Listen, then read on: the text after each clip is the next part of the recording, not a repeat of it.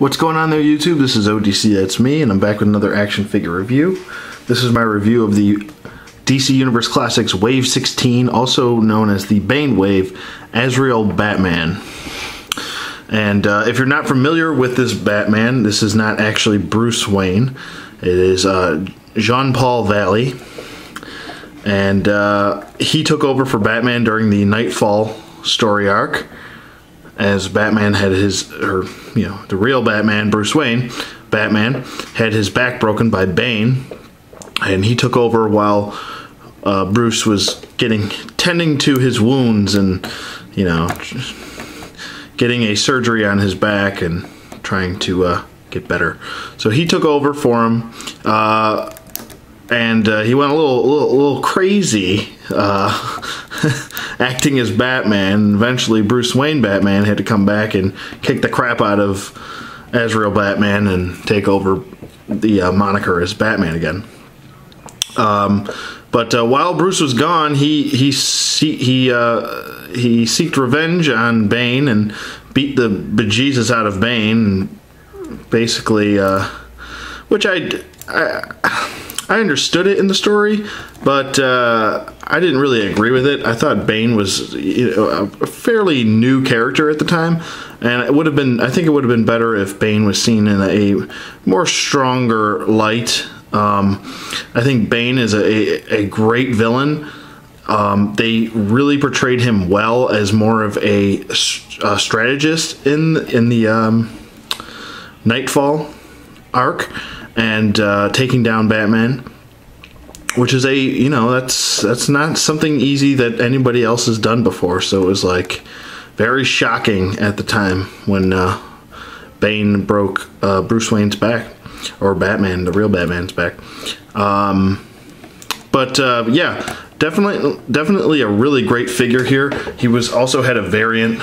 The red variant, which it came in the Knightfall two pack with uh, Batman, and um, yeah, so basically, really great figure here. Um, it was a one of the best waves, I think.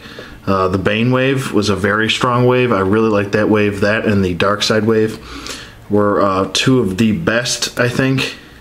And uh, yeah, so definitely really like this figure a lot. He's got a ton of detail to him really great utility belt here. It's a little off-centered. Um, I've noticed that with a couple of things like his um, his wings back here. They're like a little off-centered and I've, I, hot water, cold water. I've used hot water, cold water on them and they just go back to where they want to go. and it just seems like his upper torso um, is just a little off center. Nothing too crazy. I'm not going to beat this figure up, but uh, because it's a really great figure, um, he really came out very well, I think. And um, yeah, he's definitely the I think the better looking version um, between him and the red one.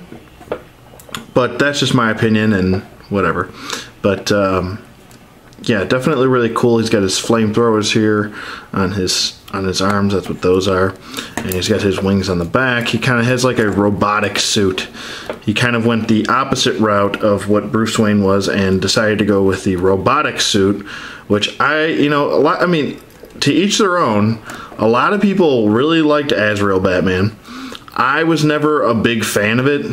I mean, as a kid, when I read the uh, when I was reading the story arc, because I was much younger when it came out, um, I just didn't like the way it looked. It looked very 90s, um, and uh, it just came off as over the top and a little too much.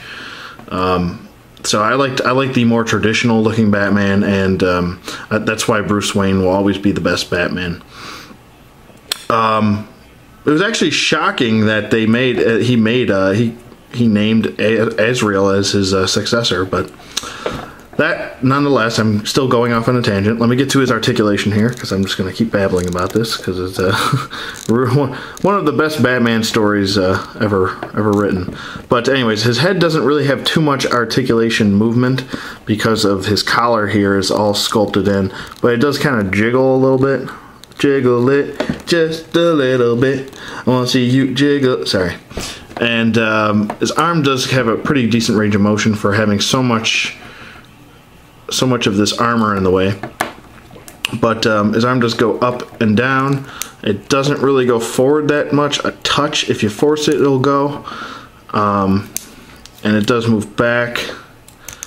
Um, his elbow does move down or back and forth, and it has this swivel effect, which is different because there's no bicep swivel because it is all one piece for his armor, part of his armor here. So no bicep swivel, but he does have an elbow swivel, and he does have a wrist rotation, which I, which is okay, which is fine. And he also has a wrist hinge, which goes forward, in, and out, which is very strange to me. I never understood why Mattel would put a wrist hinge and a wrist rotation on some of their figures and not all of their figures. I mean, it makes the most sense that, that you're, I mean, naturally your wrist does go like this. It doesn't swivel on its own. So, I mean, if you wanted to give them just a bicep swivel and a glove swivel, that would make more sense because you can rotate at your forearm, but you can't rotate your wrist. So, that's what always made more sense to me. But I, I like I said, I digress, and that's a, a different topic for a different time.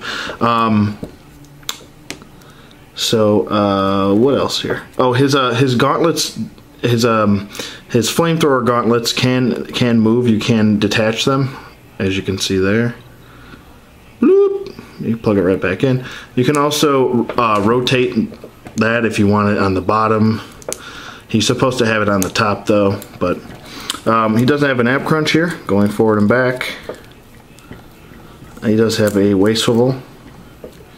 T-jointed hips, go out, forward and back. Does have an upper thigh swivel. Double jointed knees, which is, I'm surprised they did that because they never usually do that. I'm sorry, I'm like way off camera there. but uh, yeah, so there you go. There's all of his articulation and his basic foot hinge articulation. Um, so yeah, that is Azrael Batman.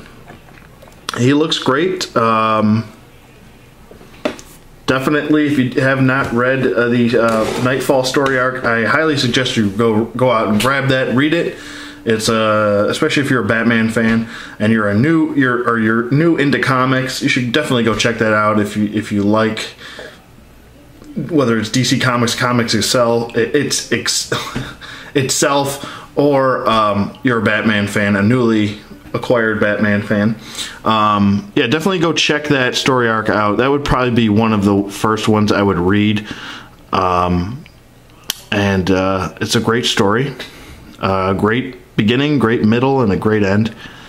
And uh, yeah so let me know what you guys think. If I had to rate this figure, I'd probably give him a 9. I think he's a very good figure, very well done. Um, don't really have any problem with loose joints or anything. Um, there's a little bit of a lack of articulation just because of what kind of figure he is, but that that comes with with the territory. So, um, yeah, he does have a great look to him. Definitely suggest going out and get, grabbing this figure. Um, let me know what you guys think. Rate, comment, subscribe, and I will see you guys on the flip side.